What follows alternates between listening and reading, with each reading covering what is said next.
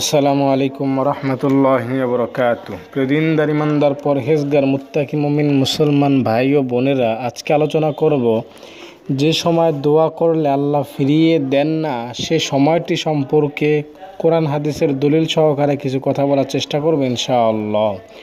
দর্শক, আমরা আল্লাহর কাছে অনেক সময় অনেক কিছু প্রার্থনা করে থাকি, মনের আশার কথা বলে থাকি। কিন্তু সঠিক পন্থা ইসলামের সঠিক নিয়ম না মানার কারণে আমরা আমাদের দোয়া আল্লাহর দরবার থেকে কবুল করাতে পারি না। দর্শক, আপনাকে মনে রাখতে হবে, প্রত্যেকটা বিষয়েরই একটা নির্দিষ্ট ফর্মুলা রয়েছে নিয়মনীতি রয়েছে। নিয়মনীতি বহির্ভূত, কোনো প্রতিষ্ঠান নেই, কোনো কিছুই নেই। ইসলামের একটা নিয়মনীতি বিধিমালা বেঁধে দেওয়া হয়েছে। সেই বিধি যদি আপনি নিয়ম না মানেন তাহলে আপনার দোয়া কখনো কবুল হবে না। বিশ্বনবী কথা বলেছেন।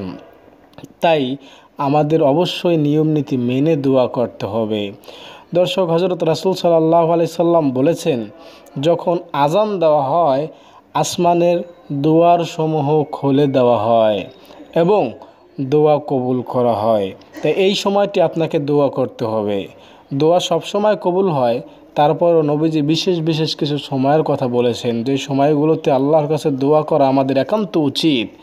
দর্শক, এই হাদিসটা রয়েছে সহিউত গিবে দর্শক, এখানে আজান থেকে নিয়ে জামাত শুরু হওয়ার আগ পর্যন্ত এই সময়টিকে বোঝানো হয়েছে। এই সময়ে মনের যে কোনো বাসনা আল্লাহর কাছে পেশ করার জন্য আদর্শ সময়। আপনি অন্য সময় দোয়া করতে পারবেন, কিন্তু এই সময় দোয়া করলে যে ফলটা, যে কার্যকরী ফলটা আপনি পাবেন অন্য সময় দোয়া করলে এই কার্যকরী ফল আপনি পাবেন না। তাই দর্শক, আসুন, আজানের পরে আমরা আল্লাহর কাছে দোয়া করি। ইনশাল্লাহ তাহলে আল্লাহ তালা আমাদের দোয়া কবুল করবেন। আজানের পর থেকে একামাতের আগে, নামাজের আগ পর্যন্ত, এই মধ্যবর্তী পাঁচ, দশ, পনেরো মিনিটের সময় থাকে, এর মধ্যেই আল্লাহর কাছে আপনাকে উজু সহকারে আল্লাহর কাছে মোনাজাত ধরে আপনার মনের কথা বলার চেষ্টা করবেন। ইনশাল্লাহ তাহলে আপনি কার্যকরী ফল পাবেন। দর্শক, আপনাদের জন্য দোয়া করে আজকের মতো এখানে বিদায় নিচ্ছি। আসসালামু আলাইকুম রহমতুল্লাহ।